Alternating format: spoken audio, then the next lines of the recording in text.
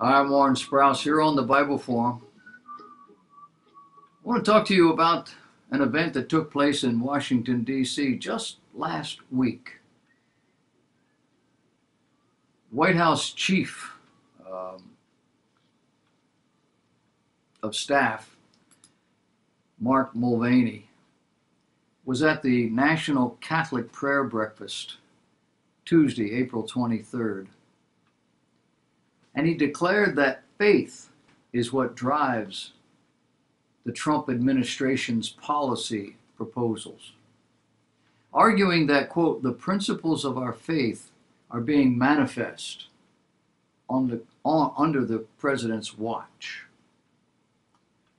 Now, keep in mind the National Catholic Prayer Breakfast is an offshoot of the original prayer breakfast, which was evangelical and thereby not Catholic they started their own. In attendance at the breakfast, a largely politically conservative religious gathering that meets annually in Washington, were two deputy assistants to President Trump. United States Ambassador for International Religious Freedom, Sam Brownback, and Representative Chris Smith from New Jersey.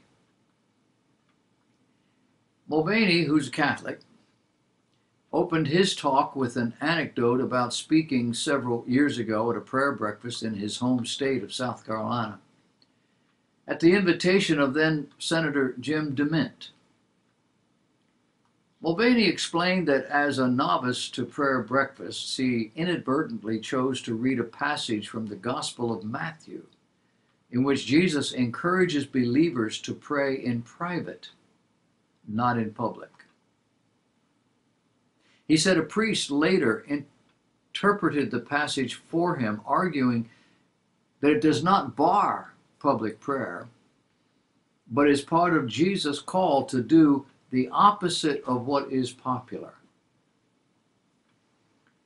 Now, that's not what it means.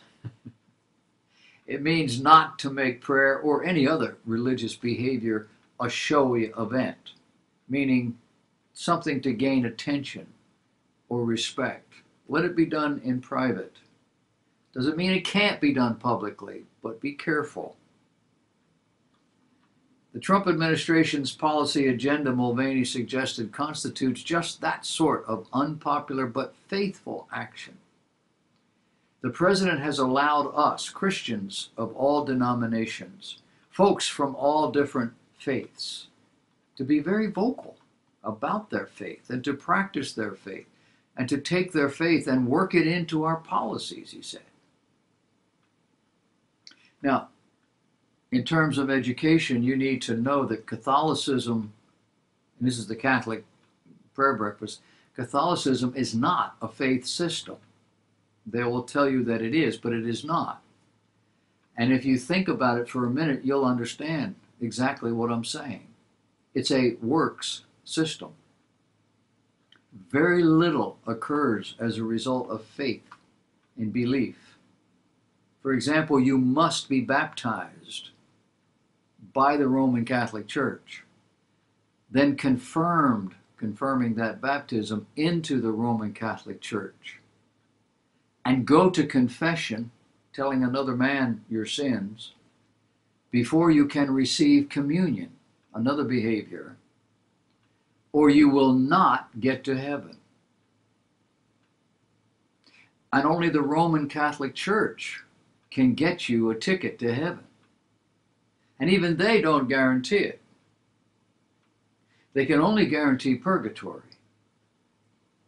where your sins may be purged through punishment and through the prayers of the saints on earth, again, as they light a candle and put some money in the plate. A very works oriented system. And that's why it's so popular. I try to explain this every time the topic comes up for a couple of reasons. One, it is not explained this way in the Roman Catholic Church. Just recently, we had a gal who was shocked that I would say any of these kinds of things. I made a statement, oh, and then I went through it. Oh my goodness. And secondly, it is the most critical element of Christianity faith, not works. That heaven is not earned by human beings as a result of doing anything. Our access to God in prayer is not as a result of our works. It is bestowed upon those who, through faith in the finished work of the Lord Jesus Christ, believing that He was paying the price for my sin. It's called a faith system because you must believe that what Jesus was doing was being done for you and for me and that there isn't anything else you or anyone can do. That's why it's called a faith system. Oh, and the do have a caveat. If a non Catholic gets to heaven, it's because he or she would have been a Catholic had they only known it. They have the caveat built in it's pretty much about them.